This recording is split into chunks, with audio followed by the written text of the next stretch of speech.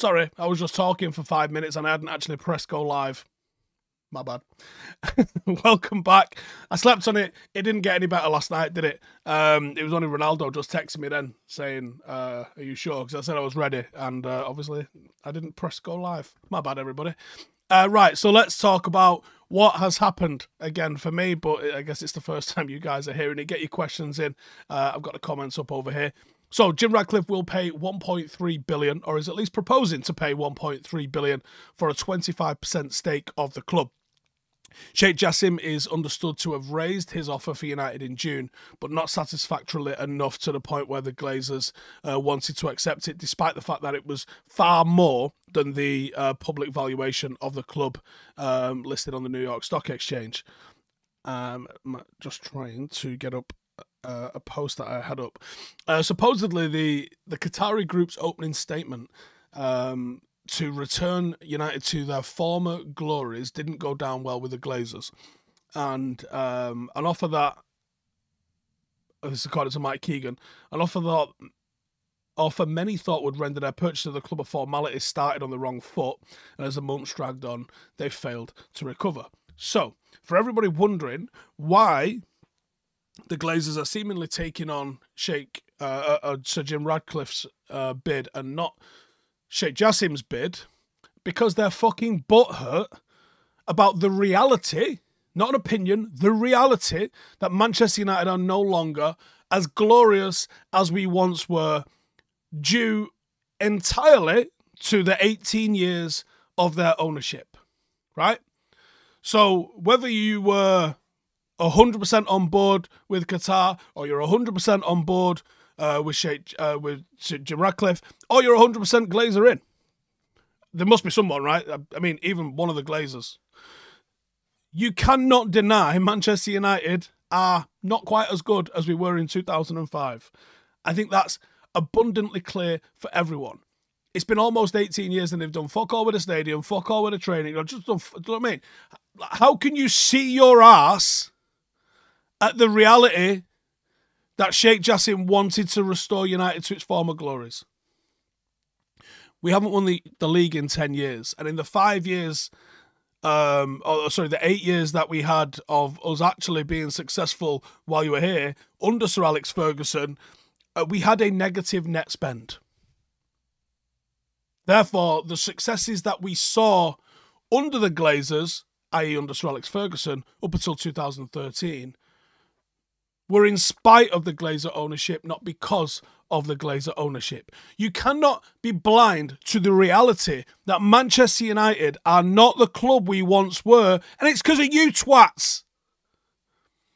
Like you can't be, you can't see your ass when someone goes, "This is what it is." Well, that's not fucking fair. Well, it's the fucking truth, lad. How how are you pissed off? Like, do you like? Are they? Does no one tell them how much they're protested against? I. They are literally living in a fucking deluded world of good news only. They must be. If they've seen their ass with that, that's a piss take. And it shows you how little of a fuck they give about the club. They give zero. They give a fuck about only what's going to line their pockets. That's it. And the fact that they want to stick around a little bit longer is probably because they think this guy's going to invest a little bit and then we'll be able to get even more money later down the line. You're fucking abhorrent, the lot of you. Absolutely abhorrent. Anyway, Ratcliffe and his company Ineos are expected to run United's football operations as part of the deal to purchase 25%, which is what they're calling the first step in a phased takeover. Um, so Jim initially wanted to buy all of the Glazers' shareholding, um, but that was vetoed um, by the board. Um, and the reason that was vetoed by the board probably does need explaining a little bit because it's it's it's the, it is the it is the legally correct thing to do, even if like as fans you're like don't care, fuck them off. Um, because the club has got shares that exist out there on the New York Stock Exchange, thirty three percent of the club. Uh, so 33% of the club are in these Class A shares, which weirdly are a lower voting right when it comes down to board decisions than the Glazers Class B shares.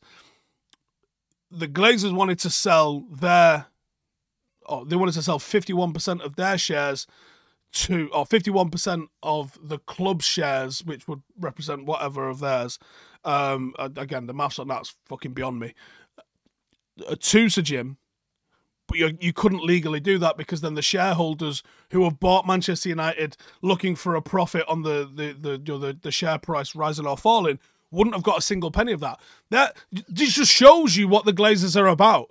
They was like, yeah, we've got these shareholders that have invested money into the club, i.e., into fucking you lot, and you're like, yeah, fuck them. Can we take our money out and and them not actually profit from their ownership of the club like we're gonna? It's fucking abhorrent.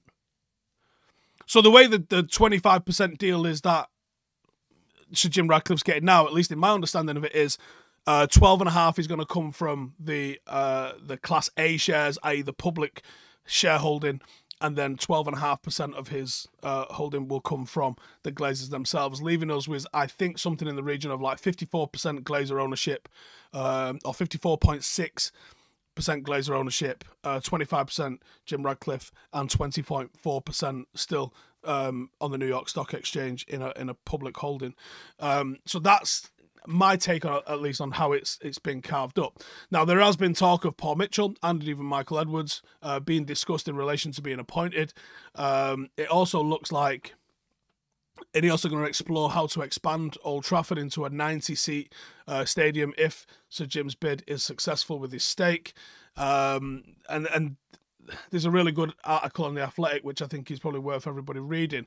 Um, so he says that a board meeting is scheduled. Uh, this is Laurie Whitwell, by the way. Uh, he said a board meeting is scheduled for Thursday, and the fine details of Sir Jim's offer must uh, first be approved by the Glazers, who will then put it to a vote of the rest of that board um, again, the board that did veto the initial 51% offering um, from Sir Jim because it meant all of that was going to go to the Glazers and none of that would have gone to the public offering, which I guess maybe it was legal, otherwise they wouldn't have tried to do it, but it's certainly immoral.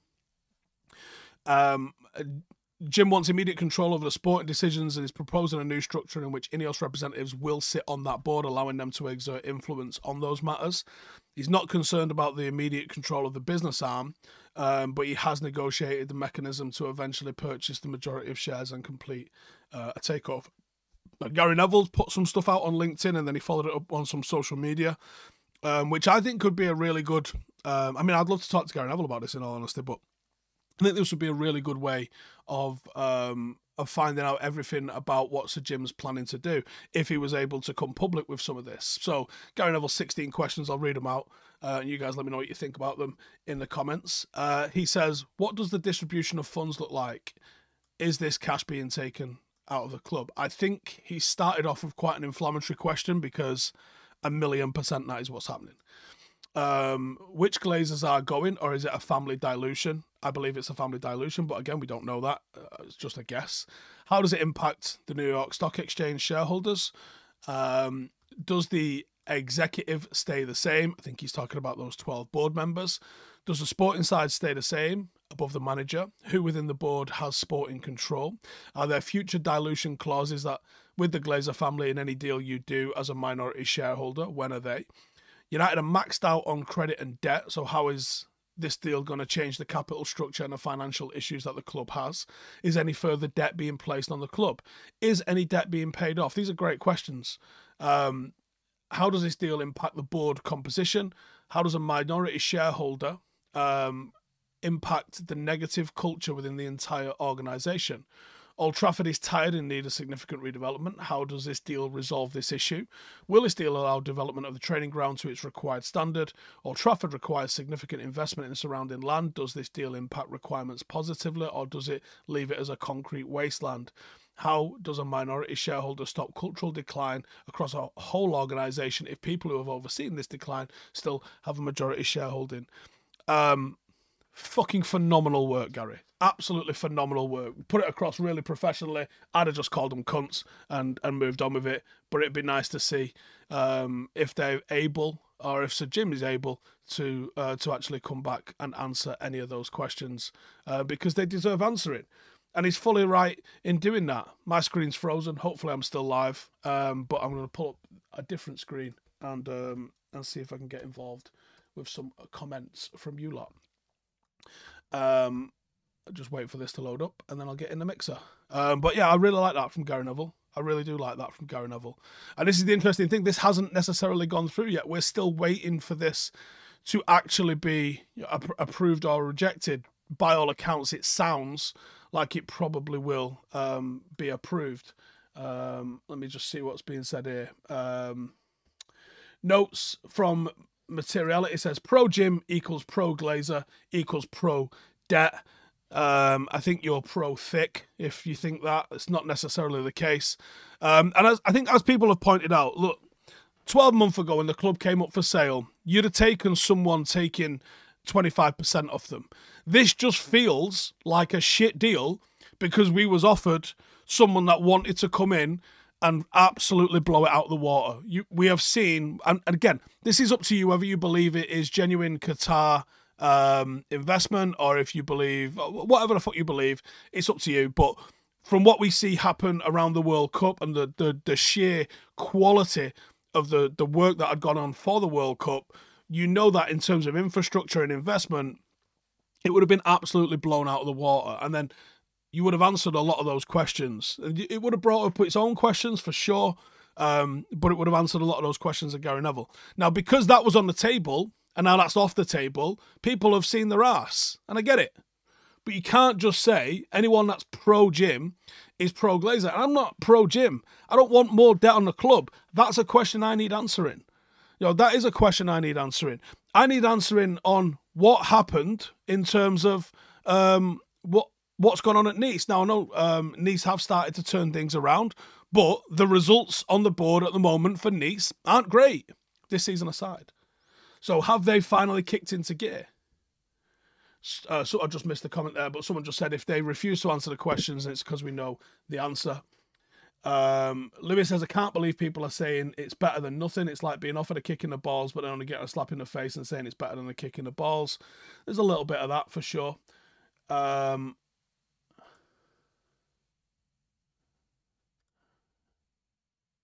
SSMUFC says Microsoft's ABK takeover and United's takeover see an actual movement. What a weekend. Both have dragged on far too long. Don't know anything about ABK. Don't know who that is. Uh, Big T says if Ineos brings sporting people and regenerate Old Trafford to a 90k capacity, is Jim a problem? I, I don't know if I don't know if you can answer that just yet. You, you can you can only speculate. Um, so Twizzler says could have been a complete reset. It's not, mate. And you're right. And you're right. And that's what Gary Neville's asking in those questions. How is a minority board member going to oversee a cultural reset when the majority um, stakeholders are the ones that have overseen the cultural decline? It's such a fucking eloquent way to be like, what are you going to do when these cunts are still in charge? Which is probably how I would have written it. can we get Gary Neville on five? I can certainly ask Rio because I think that is it's something definitely worth exploring. Lewis says, Steve, I can't get my head around what um, could have been seeing Jassim's proposal. Now we have to put up with the Glazers for another decade. Worst part is Jasim will go and buy Liverpool now. Um, well, do you know what? If he does, he was never a United fan in the first place, was he? Because what you know, how much of a prick is he going to look parading himself in a United shirt, telling everyone he's a United fan, and then buying Liverpool? You know what I'm saying? Um, exits as the grief from the instant gratification sugar hit generation is insane. Um, does Paul look like Phil and Grant? Got a bit more hair than them, but yes. Um, Sean says, I'm pro Jim, anti Glazer, but my God, is it a big improvement at the beginning of the end of the Glazers? Uh, Jed says Ten Hag didn't want a director of football, hence Rangnick leaving. If Mitchell or Edwards come in, could that be the end of Ten Hag? I don't know if he did want or didn't want a director of football. He had one at Ajax. So I, I don't know if you can answer that question, to be honest with you. Uh, there was another super chat which just disappeared. Let me just try and find that because it may have been a, a minute ago. Uh, Pig Rise says nothing to say. Have uh, a two and a half and keep up the good work. All right, thank you very much. Um, ben says uh, how are my feet these days? Whatever it was, foot to a while ago. I gave myself plantar fasciitis, like basically this time last year, by doing that 457 kilometers. I've had an injection in one of them. I'm still waiting for the injection in the other one. Um, but yeah, they're better. I've started doing a bit of mountain biking, so I'm not either running or tabbing on my feet as much. Um, Trap Chatterbox says, Where do I keep getting the energy to care as much about the clubs when so much of what happens is beyond your control? Everything's. Um, everything's out of our control. Doesn't mean you don't care. I was indoctrinated as a child and I'm fucked now. Um, this is me forever. Um, my link of it savage says I like it. Um, I can't see how this is being viewed negatively. Glazer selling completely now was ne- clearly never on the table. No state ownership and a step in a better direction. I don't necessarily agree that the that the Glazer selling entirely was never on the table. I think it was clearly on the table. It sounds like Sheikh Jassim might have fucked it by talking the truth, which is ridiculous. If people don't like the fucking truth, then they're deluded. It's, and the truth is, they fucked us. Uh, Sean says Gary Neville talks so much BS. He's a pundit. He never said a word, word whilst he was at the club. Only started talking when his brother got shipped out. I, to be fair, I don't necessarily think that is the case. Also, he isn't just a pundit. He's also an owner of a football club. Gary Neville has had every single job in football, by the way. He's been a player.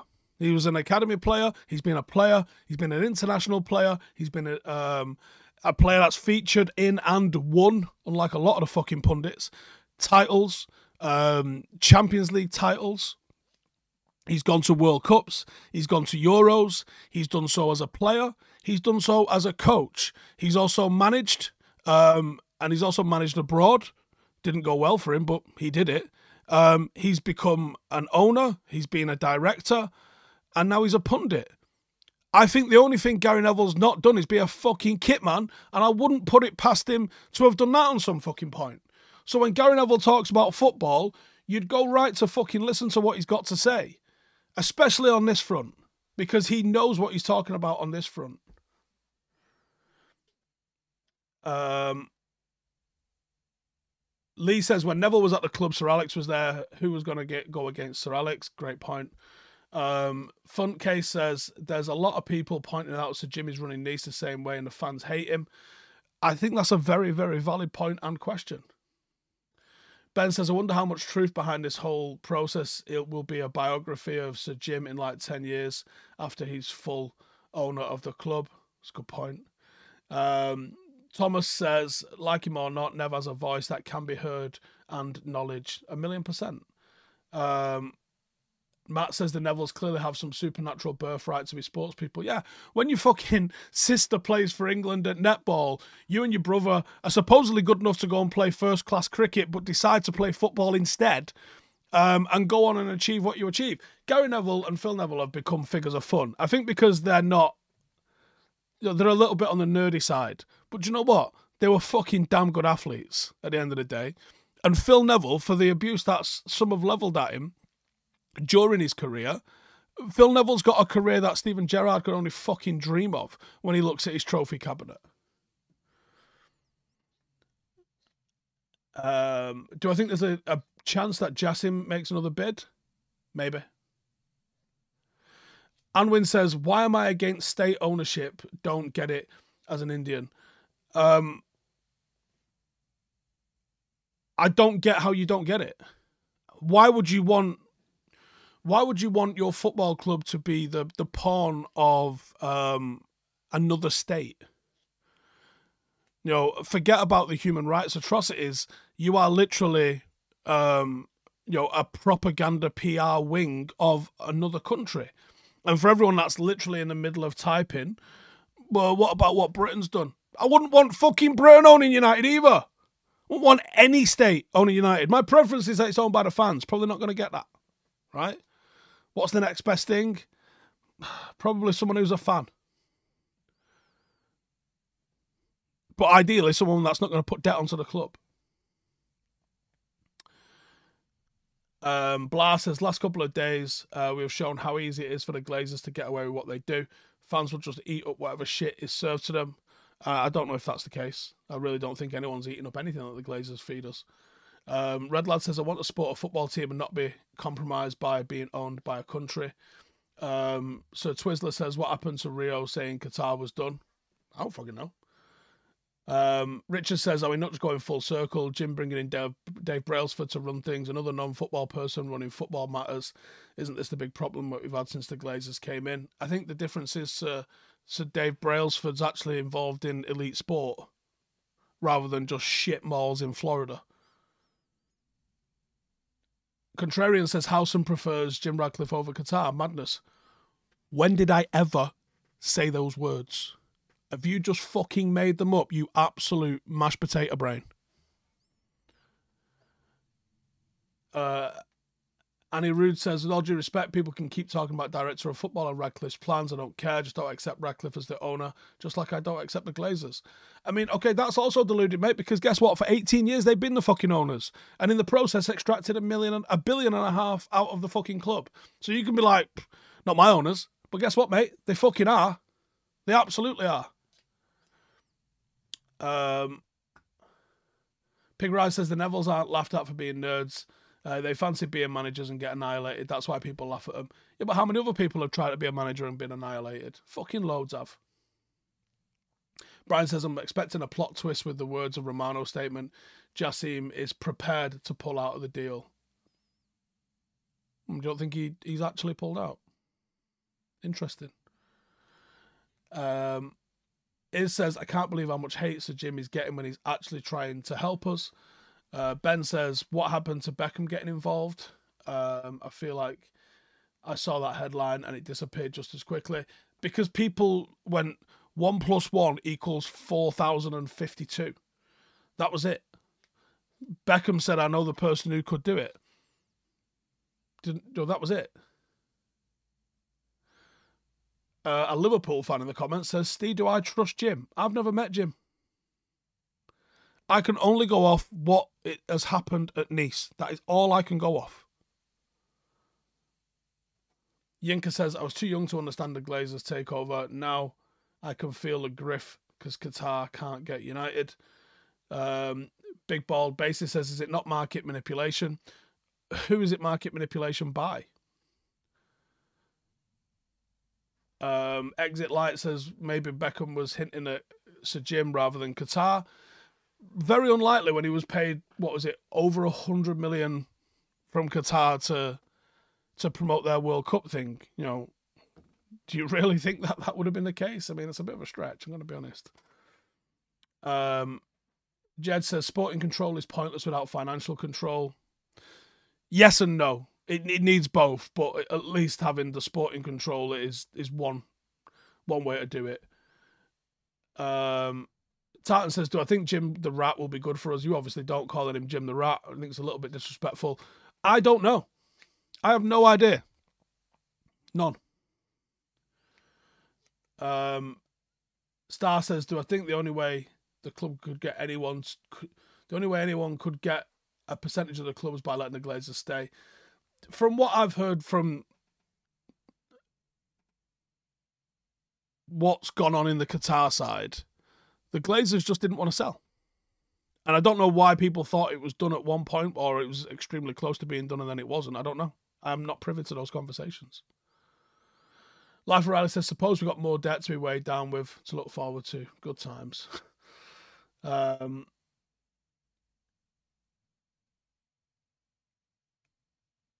Sibusio says, we're, we're, Sir Jim takes so Jim is takes right. That's I can't read that. Sorry.